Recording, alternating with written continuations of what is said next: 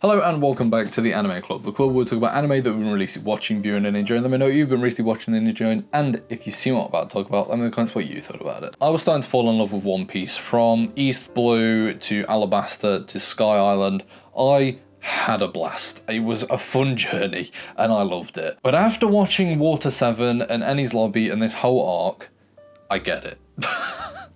I, I get it. like, uh, I understand the hype. I understand why this show is placed at the place where it is. I understand why people love these characters so much. I understand One Piece. Like, I am so excited now to watch the rest of it and find out and discover more arcs like this. Because, oh my god, this was brilliant. This had so many character moments, story and plot moments, reveals, brilliant fights just I was honestly gripped. Like I, uh, Sky Island was good. I enjoyed it, but it not not one part of it gripped me. From the moment the crew entered Water Seven, I was I was hooked. This this this town was brilliant. I loved the concept of it. I loved just the people in it, Iceberg, and, and all the crew who uh, are working at the docks and stuff like that. I loved all of that. But then to start getting little hints of stuff, you know, Robin leaving,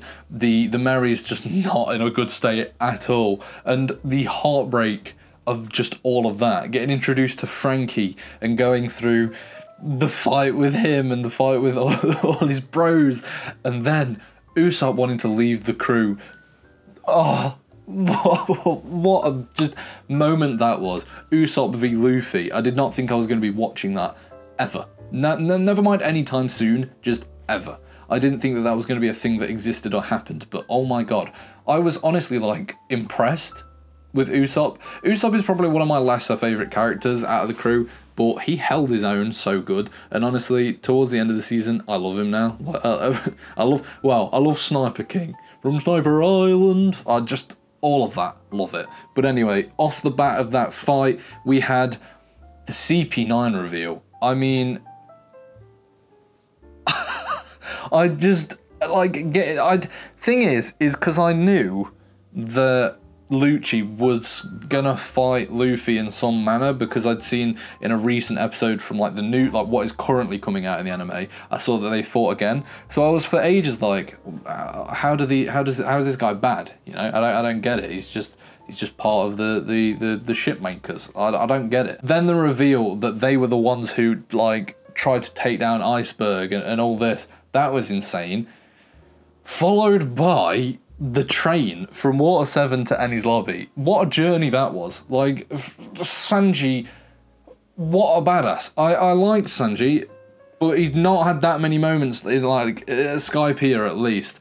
This one, when he goes full detective mode, they're, they're all getting ready to leave the, by the train, and he's just there, lighting one up. Oh, it's so cool. He literally takes out, like, what, four or five carts on the train of people, and then just the moments of, like, Zoro cutting a train in half. what? Oh, and then we arrive at Enies lobby, and the all-out war that ensues at Enies lobby, I just from start to finish, like I said, going back to these moments. The moments that they have in Enies lobby are things that I will never forget, like Usopp shooting down the flag of the, the like the military flag. What a moment that is! When when the whole crew is stood in line looking at CP9, getting Robin, finding out Robin's backstory, which is just heartbreaking, getting the line from Robin of I want to live. Like, I watched One Piece in dub, and that is an incredible, incredible piece of voice acting. Like, the scream and just everything is. Oh, it's so good. And then following that, the fights that we have, the the gear two, gear three, I didn't think I was going to be seeing Gear 3. I, like, I sort of knew that this was the, the place where Gear 2 came in and, and the pose and, and everything like that, and I was so excited for it. But to get Gear 3, I, I thought I was going to have to wait like another 100, 200 episodes for Gear 3. How have I already got Gear 3?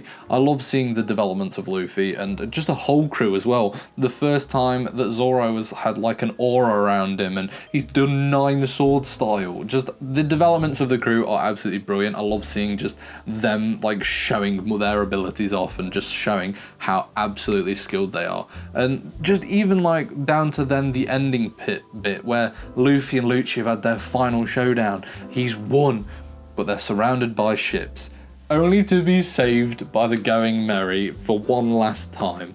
The goodbye to Going Merry gave me such goosebumps on like from everything like the snow falling, the lighting, the flashbacks to memories of the crew being together, the the lines that all the the crew say.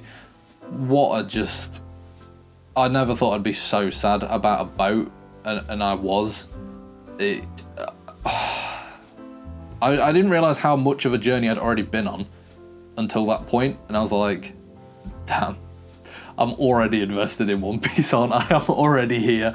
Uh, it was just so good. To then, even the, the, the smaller moments after Enies Lobby, discovering about, you know, Luffy's granddad. I already knew about it because the live action for some reason told me straight away, but to see it like redone here and then also get the real reveal about Luffy's dad and that he's this like big menace of a guy and we actually already met him back in Logtown. I was like, I didn't even realize that. And then also getting to catch up again with Shanks and Whitebeard. That standoff's incredible. I love anything with Shanks. I, I, I just what an incredible character. Just the aura that guy has. The the fact that like he was making people pass out because of well they, they said it was a, a haki hakai I don't, I don't know much about that yet. I'm excited to learn about that. But that was cool. That was insane. That whole bit brilliant. And then also getting the final final piece of the puzzle Franky joining the crew. I, I really like Franky. at first i was so confused because like he well, I suppose he does the same thing as uh, Robin. He starts as, as, as against the crew and slowly works his way with them.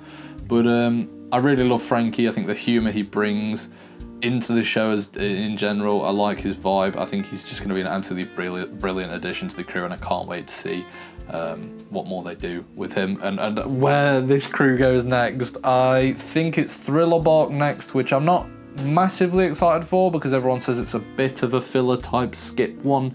Apparently nothing happens, that's all I've heard. People just keep saying, yeah, nothing happens. Nothing happens. I, I don't get it, but um, nevertheless, I'm excited to keep on going because just what a show. What what characters, man. I, I, when I first watched the live action one, I didn't love Luffy. I was like, he just seems like a bit of a side character to the rest of the crew because he's not got much going on. But the anime is just a different story. I love all of them. Like, I, it's actually impossible to, to pick a, a, favourite. Chopper is he's, he's up there. At that moment, I didn't even talk about that. Chopper going like beast monster mode and that.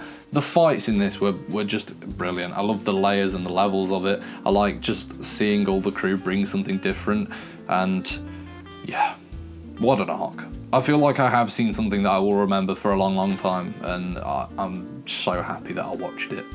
but anyway, what did you think of Water 7 if you have seen One Piece? And I will see you next time on the Anime Club.